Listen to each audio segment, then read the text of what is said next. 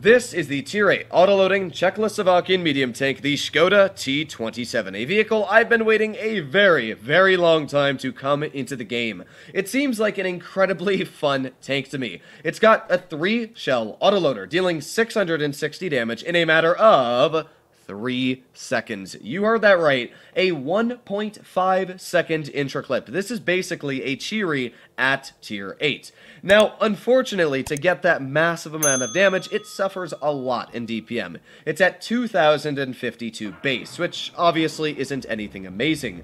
Now, the accuracy at .326 is pretty good, and same for the aiming time at 3.3 seconds. That's also very solid. I definitely understand why it would have good accuracy. You want a vehicle which fairly, fairly uh, aggressively relies on that gun, to have at least decent accuracy to hit its shots. Now, 8 degrees of gun depression is pretty solid, and on the mobility, 50 kilometers per hour with a fantastic power to weight of 23.0. Overall, the tank is very mobile, good gun depression, seems flexible on basically any terrain, and that clipping potential seems incredibly deadly. So what's the drawback? Well, it's the armor. It has basically no armor. And of course, we said the DPM. But yeah, armor 65 millimeters on the hull and 100 millimeters on the turret. I don't even need to say that it's angled because it wouldn't matter if this thing was a 90 degree angle. It still would not be bouncing anything. Yeah, the Skoda definitely struggles in the armor. And that is going to be a big letdown if, let's say, you end up poking a vehicle like an RHM or, you know, anything that has decent penetration that will overmatch basically any of your armor. So that is something that is going to hurt the vehicle a lot. I don't know what to think about this vehicle yet. I've played two practice games in it, and both of them have been losses and terrible losses at that.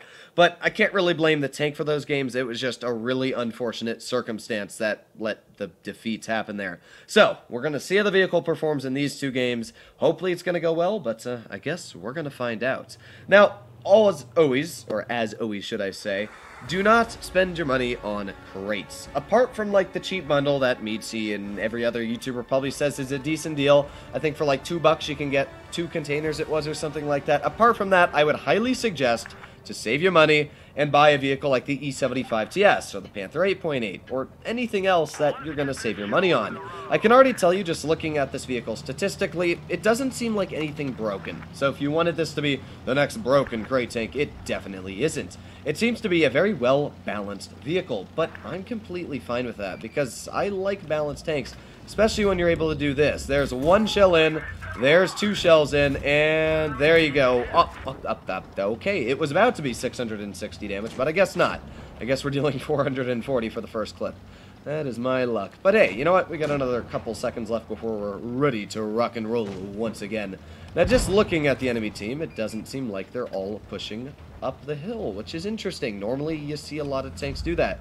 Now we got the ISU off to the side. Let's aim in. There's one shell into the ISU. There's a miss, and there's a pen. You know what? I'll take it. Again, we're not penning every shell, but you know what? It's better than nothing. What the heck is the enemy team doing? I, I honestly have no clue. At this point, I'm pretty speechless. Their team seems to be pretty dang stupid.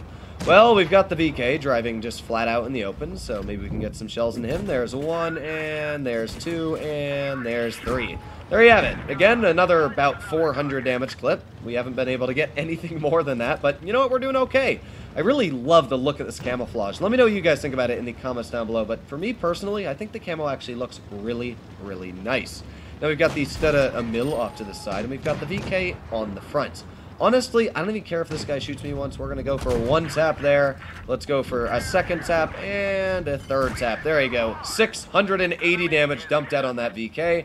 And now we drive away. Obviously, we are much faster than that tank, so don't really need to worry too much about him catching me. He's lost a pretty healthy chunk there. And again, we're just going to reload, and in three, two, one, we are going to dump right into his tank. Once again, there's one nice tap into him. There's two nice taps into him, and let's go for a shell into the lower plate of the WZ-110. Beautiful.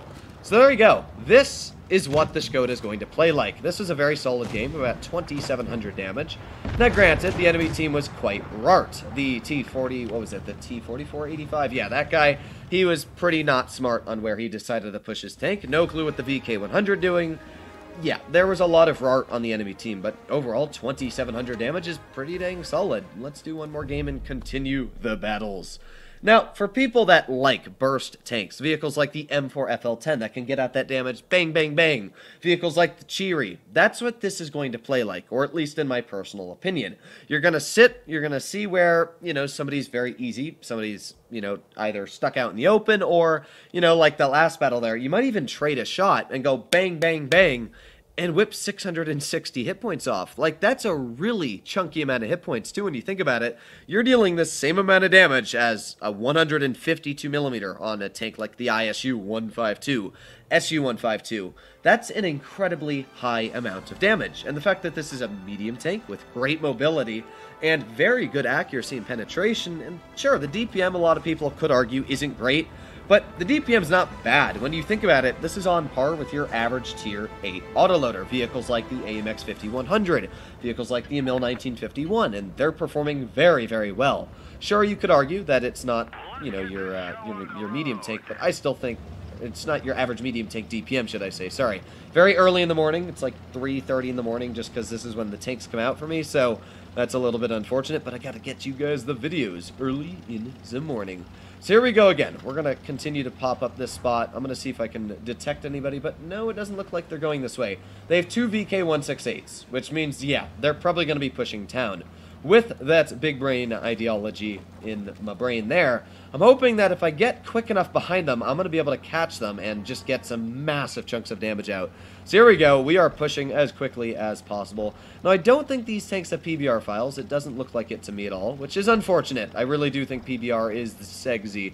But uh, yeah, no, these tanks do not have the PBR files. We're going to continue the push here. Hopefully we're going to spot a VK. Oh yeah, there you go. That's what I'm talking about. There's one, there's two, and there's three. Oh my god. There you go. That is what I'm talking about. A full health ammo rack because I guess we were able to damage his ammo rack. I saw the first shell damaged it, so I guess he just never fixed it.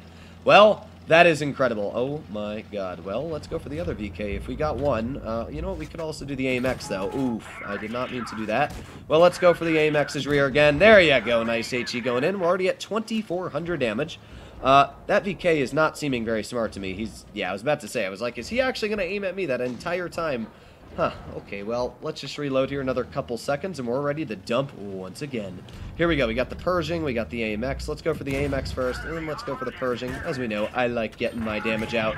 So there you go, another pretty hefty chunk into the enemy team. We've just broken 3,000 damage. Now, granted, we wouldn't be sitting nearly as much as this if we didn't get extremely lucky, but either way, this tank is really, really fun to play. I'm extremely enjoying this so far. Let's go for this Pershing. Let's go aiming, and there's one miss right out in the flat open. There's a pen, and there's a pen. That's really unfortunate. We could have killed that guy very easily if those shots had penned. But uh, I guess that's my luck, right? Alright, we're going to drive towards the mid. I'm hoping that we can get some shells into the SP-1C, maybe the T-34 Falcon. They've got a lot of healthy tanks left, which is not great for my team, of course. So let's go for this guy here. Let's aim in. There's a one shell. There's a miss. And hopefully this guy's going to go for my VK. But we've also got the T-34 over here. Wow, this is really unfortunate, isn't it? Yeah, we're going to drive away. I, what's incredible to me is that we're actually losing this battle even though I've managed to, like, literally ammo rack a full health tank.